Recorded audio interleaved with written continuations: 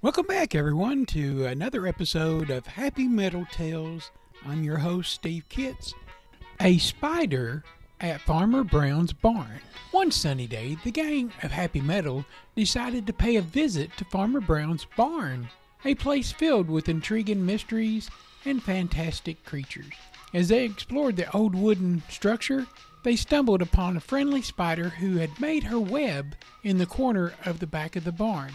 The spider introduced herself as Spinner, welcoming the metal friends to her cozy corner.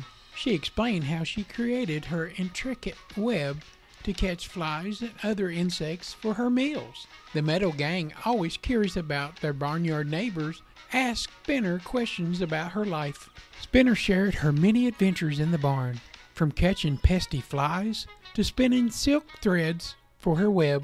She even described how she liked to sit on her web and feel the gentle vibrations when someone sang or talked nearby. The gang found Spinner's stories and the way that she created the web absolutely fascinating.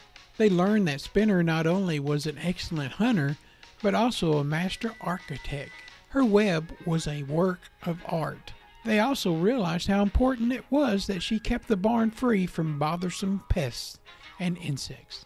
Before leaving the barn, the metal friends thanked Spinner for sharing her stories and her knowledge and her skill of catching things.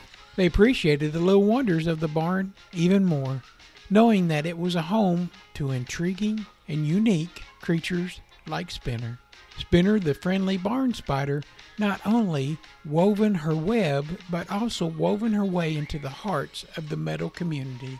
Her presence became a cherished part of the barnyard adventures in their own understanding of the small but significant inhabitants of Farmer Brown's barn.